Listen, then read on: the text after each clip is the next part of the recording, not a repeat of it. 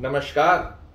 प्रिय दर्शकों, आज के इस कार्यक्रम में हम चर्चा करने जा रहे हैं मकर राशि वाले जातकों के लिए सितंबर का महीना क्या लेकर आ रहा है सौगात। सितंबर के महीने में आपका स्वास्थ्य कैसा रहेगा? करियर और फाइनेंस का दृष्टिकोण क्या संकेत देने जा रहा है? इसी के साथ में आपका भाग्य, शिक्षा, यात्रा, दाम्पत्य जीवन और प्रेम संबंधों की स्थितियाँ सितंबर के महीने में किस प्रकार आपके सामने प्रदर्शित होगी, यही अग्रिम जानकारी आज आपके सामने प्रस्तुत करने जा रहा हूँ। और समय आने से पहले, यदि आप भविष्य के बारे में जान लें, समझ लें तो आप फ्यूचर की प्लानिंग बहुत ही सहज तरीके से कर सकते हैं और यही मेरा प्रयास बना हुआ है। तो सर्वप्रथम स्थिति में, सितंबर का महीना स्वास्थ्य दृष्टिकोण से आपके लिए क्या संकेत दे रहा है तो पहली अवस्था में समझने का प्रयास कीजिएगा, आपके लग्न के स्वामी होते हैं शनि महाराज और लग्न में ही संचरण कर रहे हैं। यहाँ एक बात तो बहुत स्पष्ट है, आपके लग्नेश लग्न में आकर विराजित हुए हैं तो आपके स्वास्थ्य को पुष्टता तो देते रहेंगे। स्वास्थ्य रूपी दृष्टिकोण आपके लिए बड़ा अच्छा है, किंतु शनि देव शनि डिले के कारक हैं और लग्न व्यक्ति का व्यक्तित्व होता है। ऐसी स्थिति में शनि महाराज का होना कहीं ना कहीं आलस्य प्रवृत्ति को भी एक्टिवेशन देता है और हाथ पैरों में दर्द, सर में दर्द, कमर दर्द, ये छोटी छोटी गतिविधि भी बने रहने को स्थिति बनाता है। ऐसी स्थिति में बड़ी कोई प्रॉब्लम नहीं है, स्वास्थ्य दृष्टिकोण आपका बड़ा अच्छा रहेगा, आलस्य को त्याग कर यदि आप अपने कर्म के ऊपर फोकस करते हैं तो ये न्याय प्रिय भी है। आपको अपने कर्म का फल अवश्य रूप से देते हुए पाए जाएँगे। स्वास्थ्य दृष्टिकोण आपका बड़ा अच्छा है।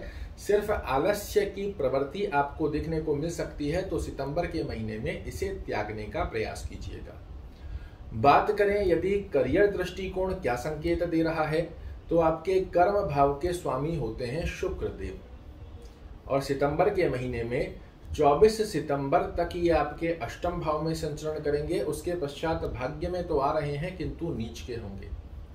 तो सितंबर के महीने में कर्म क्षेत्र में आपको छोटे छोटे से ऑब्स्टेकल अवश्य रूप से देखने को मिल सकते हैं। जैसा आप चाह रहे हो, उस प्रकार की स्थितियाँ सितंबर के महीने में ना बन पाए, ऐसे बहुत प्रबल योग बने हुए हैं। डिमोटिवेट नहीं होना है, यही हमारा प्रयास होता है कि अगर कोई गतिविधि बन रही है और जैसा आप चाह रहे हैं, वैसी स्थिति आपके सामने प्रकट नहीं हो पा रही है तो सबसे पहली गतिविधि क्या होती है? व्यक्ति फ्रस्ट्रेट हो जाता है। और जल्दबाजी में फ्रस्ट्रेशन के अंदर कोई गलत डिसीज़न ले बैठता है, वही स्थितियों से बचाने का हमारा आपको प्रयास है।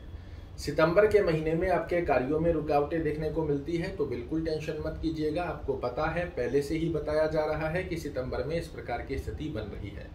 जैसा आप सोचें, वैसा कार्य ना हो। मेहनत के अकॉर्डिंग रिज़ल्ट की स्थितियाँ कमज़ोर हों। इस प्रकार की अवस्था आपको मानसिक तनाव देने का प्रयास करेगी।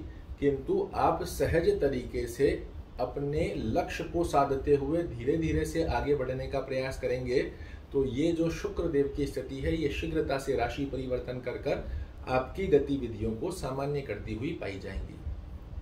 बात करें फाइनेंस दृष्टिकोण की तो आपके धन भाव के स्वामी भी शनि महाराज ही होते हैं और लग्न में आकर विराजित हुए हैं। किस प्रकार का फल देते हैं? अपने व्यक्तित्व से धन को अर्जित करने की गतिविधि। सितंबर के महीने में शनि महाराज आपके सामने प्रकट करने वाले हैं। तो एक स्पष्टीकरण तो तय है कि बैठकर कुछ भी नहीं होगा। आप जो कार्य करेंगे, ये न्याय की मूर्ति है, न्याय प्रदाता है शनि महाराज, और अपने कर्म को साधते हुए यदि आप आगे बढ़ते हैं तो धन में वृद्धि करने की स्थिति, धन से रुके हुए कार्यों को पूर्ण करने की स्थिति शनि महाराज आपको अवश्य रूप से बनाकर देने वाले हैं।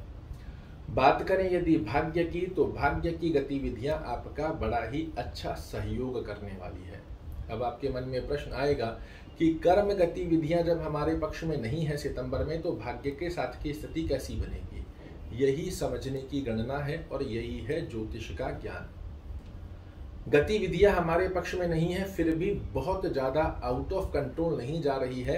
भाग्य कहीं ना कहीं हमारा साथ देता हुआ पाया जा रहा है। स्थितियाँ अनुकूलता की स्थितियों को प्रदर्शित कर रही है, इन तरीके से ही जीवन में बैलेंसिंग बनती है। आपका भाग्यश पूरे सितंबर आपके भाग्य स्थान पर ही रहेगा। अद्भुत रूप से यहाँ पर लाभ देते हुए पाए जाएँगे बुद्ध महाराज। तो भाग्य की स्थितियाँ बनी रहेगी, कार्य में डिले देखने को मिलता है, उससे आप फ्रस्ट्रेट ना हो, अपनी गतिविधियों को करते रहेंगे तो सफलता मिलना आपको तय हो जाएगी।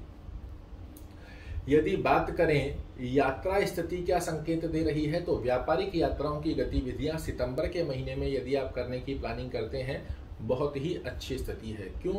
क्योंकि पराक्रम मेष पराक्रम भाव में बैठे हैं, द्वादश स्थान के स्वामी हैं, व्यापारिक यात्राएँ यदि आप करते हैं, इसमें आपको लाभ देना तय हो जाता है। तो यहाँ पर व्यापारिक यात्राएँ आपके लिए अच्छी है। बात करें यदि शिक्षा स्थिति की तो शिक्षा अवस्था के अंदर जहाँ एक तरफ़ पंचम भाव के स्वामी शुक्र महाराज जा रहे हैं आपके षष्ट अष्टम भाव में, वहीं दूसरी तरफ़ आपकी कुंडली में मंगल महाराज पंचम भाव में संचरण करते हुए पाए जाएँगे। ये स्थिति और मंगल क्या है? सेनापति हैं। तो आपको एक जुझारूपन अपने लक्ष्य को साधने की ताकत यहाँ पर मंगल महाराज देते हुए पाए जाएँगे। और इस स्थिति का यदि आप पालन करते हैं तो निश्चित रूप से विद्या क्षेत्र की स्थिति का योग आपके लिए अच्छे संकेत देने जा रहा है।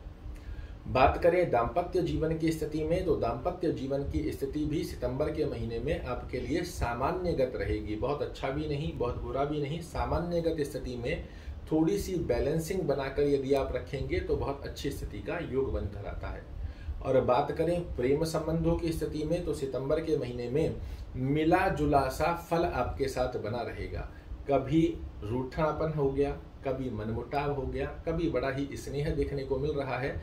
ऐसा मनमुटाव और प्रेम संबंध दोनों मिश्रित फल आपके लिए सितंबर के महीने में प्रदर्शित होते हुए पाए जाएँगे। तो आइए जानते हैं अब उस ब्रह्म की के बारे में, जिसका पालन कर कर आप सितंबर के महीने को बना सकते हैं, यादगार।